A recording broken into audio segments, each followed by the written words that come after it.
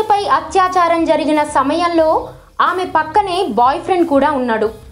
అతనిని దారుణంగా కొట్టి ఆ తరువాత నిర్భయపై కదిలే బస్సులోనే అత్యాచారానికి పాల్పడ్డారు. నిర్భయ ఘటనను దేశ ప్రజలెవరూ మర్చిపోలేరు.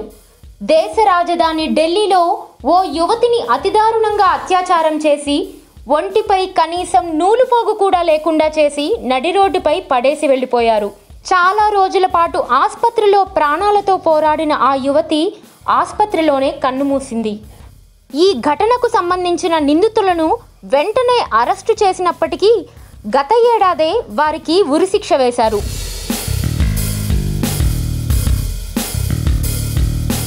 ఇక నిందితులకు ఉరిశిక్ష పడేందుకు నిర్భయ తల్లిదండ్రులతో పాటు న్యాయవాది సీమ కూడా చాలా పోరాటం చేశారు. ఇక వారి పోరాటానికి ప్రతిఫలంగా మార్చి రెండు వేల ఇరవైలో నేరస్తులకు ఉరిశిక్ష పడింది. ఒక నిందితుని వయస్సు పద్దెనిమిదేళ్ళ లోపు ఉండటంతో కొన్నాళ్ళు జువైనల్ కోర్టులో ఉన్నాడు అతను. ఆ తరువాత విడుదలై ఎక్కడో జీవిస్తున్నాడు. కాగా నిర్భయపై అత్యాచారం జరిగిన సమయంలో ఆమె పక్కనే బాయ్ ఫ్రెండ్ కూడా ఉన్నాడు.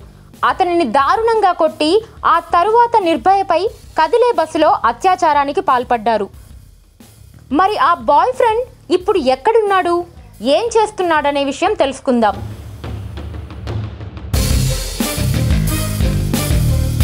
అతని పేరు అవింద్ర పాండే. అతని తండ్రి పెద్ద లాయర్. కాగా నిర్భయ ఘటన జరిగిన తరువాత దాని నుండి కోలుకోవడానికి నాలుగేళ్ళు పట్టిందట.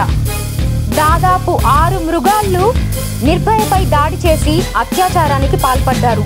అడ్డుకోవడానికి ప్రయత్నించిన అవింద్రాపై ఇనుప రాడ్డుతో దాడి చేసి గాయపరిచారు. అవింద్ర పాండే సాఫ్ట్వేర్ ఇంజనీర్గా స్థిరపడ్డాడు.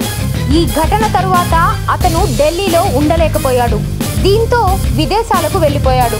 ప్రస్తుతం అతనికి పెళ్ళి కూడా జరిగిపోయింది. ఒక కొడుకు కూడా ఉన్నాడు.